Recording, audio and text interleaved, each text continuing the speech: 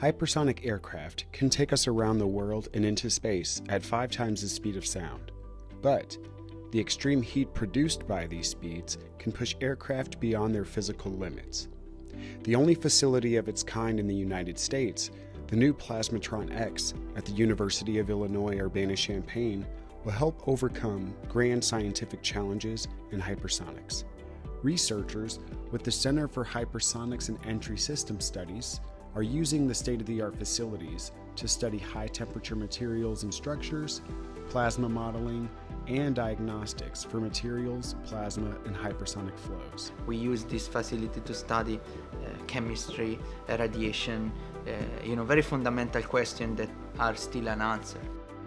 This facility has unique features, and um, the, the main one is that it uses inductively coupled plasma technology to uh, create the plasma. So there is no contact between the gas and the electrodes. That creates like a pure flow, right? So a pristine environment that is really the same one that vehicles uh, find when uh, they travel high up in the atmosphere.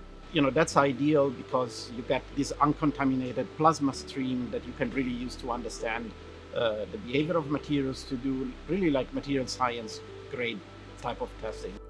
The facility is also remarkable for its ability to conduct many tests each day. So whenever you look at facilities around the, the country, the way that they achieve these high temperatures are more impulse facilities. So these would be arc facilities or shock facilities that would achieve those conditions for a very short time on the order of minutes.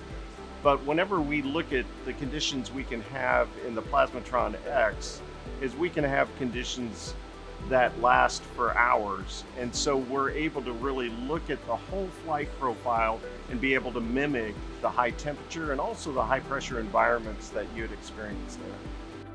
Plasmatron X will help facilitate basic and applied research in hypersonics for defense, space exploration, and commercial transport.